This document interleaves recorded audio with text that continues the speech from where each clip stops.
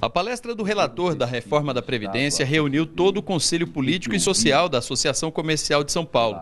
Arthur Maia falou da necessidade da reforma para reduzir o déficit da Previdência, que em 2016 foi de 151,9 bilhões de reais e este ano tem previsão de ultrapassar os 180 bilhões de reais. Acredito na sua aprovação, apesar das dificuldades que se colocam nesse momento, mas convicto de que o Congresso Nacional não pode faltar ao Brasil nesse momento. E não faltar ao Brasil é aprovar a reforma da Previdência. Segundo Arthur Maia, inicialmente a intenção era votar a reforma da Previdência neste primeiro semestre, o que não será possível.